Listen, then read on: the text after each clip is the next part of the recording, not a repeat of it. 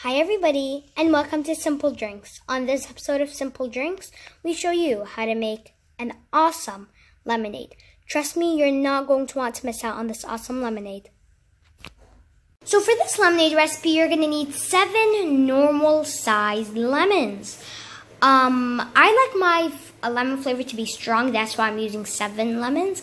But if you, you like yours to be medium, then just use five lemons. And if you like to like the lemonade to taste like um, lemon infused water, then by all means just use four normal sized lemons. Now this is for a normal sized pitcher. Also, you're going to need dried or crushed mint. This is found at normal grocery stores, and um, you're going to be needing about a tablespoon of that. A squeezer, a lemon squeezer. You can use a fork or electric squeezer, or like me, a hand squeezer. A pitcher, and 10 tablespoons of sugar. So I'm just really quick going to demonstrate how to use a hand squeezer.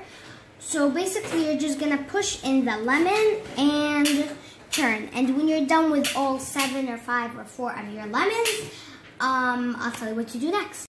So now that you're done squeezing your lemon, I don't know if you guys can see, but um, that's a lot of lemon juice um, you're going to pour it all into your pitcher, just like so.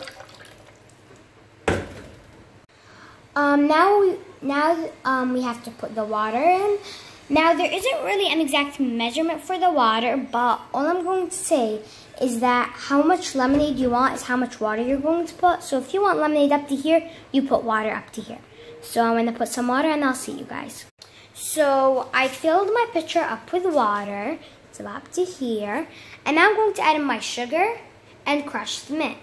So if you're on a diet, um, you can put honey instead of sugar or do half-half. And let me remind you that it is 10 tablespoons of sugar. So we're going to pour all that sugar in. And you have to mix it in. So mix it, mix it, mix it really well because if you do not mix it well, then it's just going to be a bunch of granules of sugar everywhere and it's going to taste like granules of sugar, which will not be very good.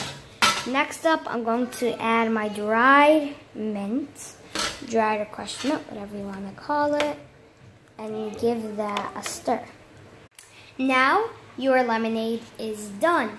Um, I hope you all enjoyed this recipe. If you did, make sure to give us a thumbs up, big thumbs up. Comment down below what else you want us to make, and make sure to subscribe for more awesome videos. Thank you, and bye!